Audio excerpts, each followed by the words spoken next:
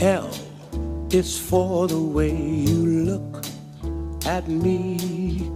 O is for the